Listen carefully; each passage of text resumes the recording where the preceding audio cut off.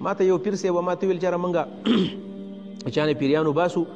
نو پیریان چې د کله وباسو لاړ شي واده ماده ورسره وکړو کله داسې وشي چې هغه پیریان مونږ سره واده وکړو بیا راشي په ښځه باندې په سړي باندې بیا ورانه کوي نو چې کله بار بار روانه کوي نو مونږ خپل پیریانو ملګرو ته وینې هغه استمړه کوي عاملان صاحبانی کنه عاملان دا تعویزونه ماویزونه کوي نو هغوی چې موږ د پیریان ونیول موږ په بوتل کې بند کړل په بوتل کې بند کړل ته خو پیری نشي نیولې دا څنګه په بوتل کې تا بند کړل او یا دا مې وسېزل موږ هم ډېر داسې خلک لیدلی دی عاملانو دا ما وسېزل او دا مې مړه کړل او دا مې په بوتل کې بند کړل او سر مې پسې بند کو نو بس خبرې دي او موږ یې ماورو تاسې ماورئ خو دا په بوتل کې بندول اول خو څوک یې کولی نشي بس هسې یو دعوه ده بس موږ ته څه پته ده هغه چار سره کې مولوی صاحب که تاسو خیال یو خبره کړې وویل ما ویل په دې پلاني جماعت کې تنګي په دې جماعت کې مې امام بونی په ولیدو پلانې بابا مې ولیدو پلانې بابا مې ولیدو نو خلک ورته چې دا تاسو څنګه ولیدل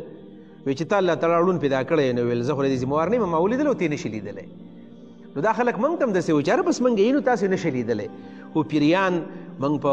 دغه کې بند کړل بوتل مو تل کې دا بندول مندول ناجایز دي یا سوګې شي یا نشي په دغه باندې خبر ځکه نو کوم چې دا زما فیل نه دی ماته پته نشته دا پیریان به سکه دا خلک عاملان خو دومره وې ما قبل پر سوګه کوي نه دا ناجایز دي ځکه ناجایز دي چې نبی له صلوات والسلام ونه نیو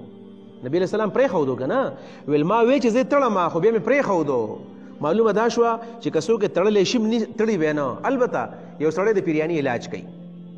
ما ته یو پیر سه و ما ته ویل چې را منګه چانه پیریانو باسو نو پیریان چې د کلو باسو لال شي واده ماده وسره وګو کله د سیو شي چې هغه پیریان موږ سره واده وکړو بیا راشي په خزه باندې په سړی باندې بیا ورانه کوي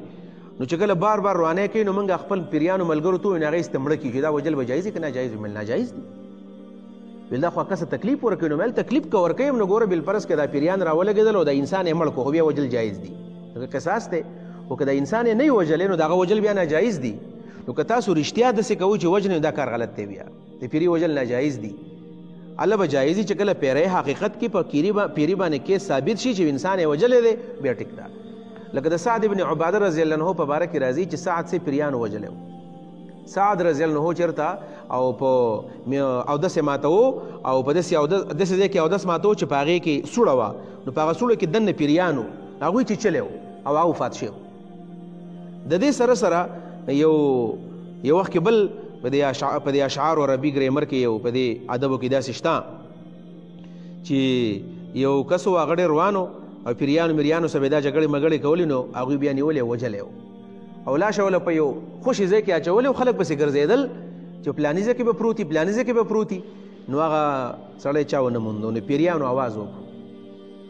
ویل چې لیس قر لیس قرب قبر قبر قبر او قبر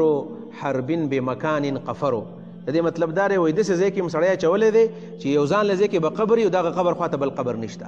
قبر حربین به مکان قفر د دې حربي او د دې جنگي سړی قبر په یو خوشي ځای کې دی لاړ شي په کوم ځای کې چې ځان له قبر دا به ساز ملګری قبر چې وکنستو سړی به کې مردار پروت لاندې نو که داسې یقین سره ثابته شوله چې پیریانو ومنله چې موږ څوک وژلی دی بیا به هله د هغې وژل جایزي نور څوک پیریان سې ظلم نه شي نه په بوتل کې بندولی شي او نه وژلی شي دا مستقل قتل دی که چا داسې داسې یو عامل چېرته وي عاملان نن سبا ډېر زیات دي دا خبره باندې ځان پوهول غواړي که داسې عاملان وي چېرته او هغوی داسې علاجونه کوي چې پیریان وژني ګورې قاتلان یې الله به د بیا قیامت کې تپوس کوي او څنګه چې یو انسان څوک مړ کی او د دې په عوض کې دا وجلې کی نو که پیرې چا مړ کو هم دا به وجلې کیږي دا معنا ده خجی ولقد فتن